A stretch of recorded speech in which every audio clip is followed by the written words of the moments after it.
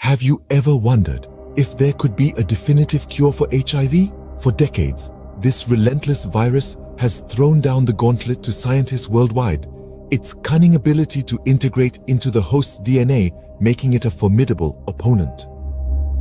But what if we were on the brink of a breakthrough? Let us introduce you to a game changer in genetic engineering, CRISPR-Cas9.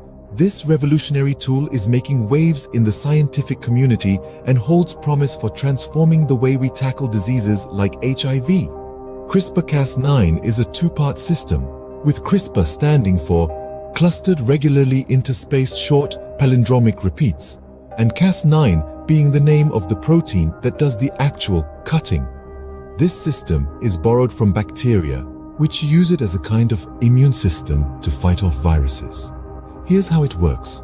CRISPR sequences are essentially the guide that leads the Cas9 protein to the right spot in the DNA. Once the Cas9 protein is at the right location, it acts like a pair of molecular scissors, cutting the DNA at that specific spot. This break in the DNA strand prompts the cell to repair the damage. Scientists can use this repair process to either remove unwanted genes or insert new ones. The implications of this technology are vast. It has the potential to correct genetic disorders, treat cancer, and even produce biofuel. But one of its most exciting applications is in the realm of infectious diseases, specifically HIV. HIV is notoriously hard to cure because it integrates its own genetic material into the host's DNA. This makes it nearly impossible to eliminate the virus completely with current treatments, but with CRISPR-Cas9, we could potentially cut the HIV DNA out of the host cells, effectively curing the individual of the virus. There are, of course, hurdles to overcome. The process needs to be precise to avoid unintended consequences, and the delivery of this system to all infected cells is a challenge. But scientists are optimistic and are working tirelessly to perfect this technology. Imagine the possibilities if we could use this technology to cut out the HIV virus from our DNA. This could be the breakthrough we've been waiting for, a beacon of hope in our fight against this devastating disease. A scientist from the Netherlands have been doing precisely that. They've been pushing the boundaries of what we thought was possible, using the power of CRISPR-Cas9 to wage war on HIV. This team of researchers, working tirelessly, have taken a bold approach to a seemingly insurmountable problem. They've turned their attention to the HIV genome itself, specifically looking at the conserved regions. These are the parts of the genome that remain consistent no matter the strain of HIV. This consistency is a weakness, a chink in the virus's genetic armor, and it's here that our team saw their opportunity. Using CRISPR-Cas9, they designed RNA molecules to guide the molecular scissors to these conserved regions. With a precise snip, they were able to cut out these sections of the HIV DNA, but they didn't stop there.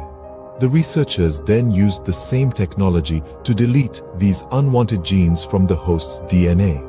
This wasn't just a one-off experiment.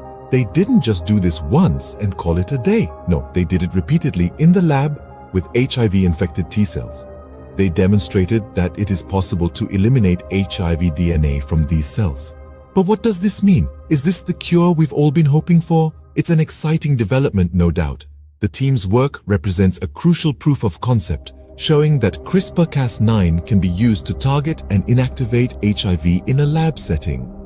However, it's important to remember that this is only the first step. There are still hurdles to overcome, like figuring out how to deliver this treatment to the HIV reservoir cells in the body and ensuring the safety and efficacy of this approach. Even so, this research represents a ray of hope in the battle against HIV. It's a shining example of the potential of gene editing technology in the fight against diseases that have long been considered unbeatable. This could be the first step towards a potential cure. However, every breakthrough has its own set of challenges, and this one is no exception. As we look ahead, there are several obstacles that need to be navigated for this promising approach to become a practical cure for HIV AIDS. Firstly, we need to address the issue of delivery. The CRISPR-Cas9 components need to be transported into HIV-infected cells in the body. This is easier said than done. HIV has a knack for hiding in reservoir cells, deep within body tissues. These cells are often inaccessible, making it challenging to reach them with therapeutic agents. Finding an effective delivery system that can target these reservoir cells is a crucial step forward. The second hurdle is ensuring the safety and efficacy of the approach.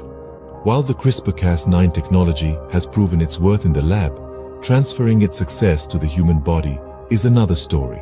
It's like comparing a controlled laboratory experiment to the chaotic world of a living organism. The human body is complex and its reactions to new treatments can be unpredictable. Any alterations made to the genome need to be precise and accurate to avoid unintended consequences.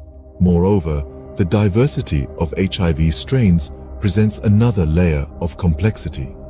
The CRISPR-Cas9 strategy needs to be robust enough to target and inactivate a wide range of HIV strains across various cell types and tissues. This requires extensive research and testing, adding to the time and the resources needed to develop this cure. And lastly, we need to consider the ethical implications of gene editing. While it holds immense potential, it also raises questions about the boundaries of science. As we tread this new path, it's crucial that we do so with caution, respect, and a deep understanding of the implications of our actions. These challenges, although significant, are not insurmountable. The journey to a cure for HIV has just become a bit more promising. The road ahead may be long and winding, but with every step forward, we inch closer to a world where HIV is no longer a life sentence. It's important to remember that while these findings are encouraging, we are still in the early stages of this research.